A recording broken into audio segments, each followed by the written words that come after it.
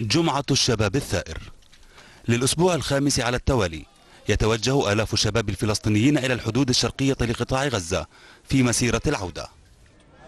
المشاركون في هذا التجمع نصبوا الخيام قرب الحدود الفاصلة بين قطاع غزة وإسرائيل حيث أقاموا صلاة الجمعة. وجاء ذلك تلبية لدعوة الفصائل الفلسطينية والقوى الشعبية والنقابية لمواصلة مسيرة العودة وصولا إلى الخامس عشر من الشهر القادم الذي يصادف ذكرى النكبة حيث تتزايد الدعوات لخروج إعداد أكبر باتجاه الحدود في مسيرات سلمية جماهيرية كبيرة. قوات الاحتلال عززت وجودها لقمع المتظاهرين وتوعدتهم بإطلاق النار وحذرتهم من الاقتراب من السياج الفاصل.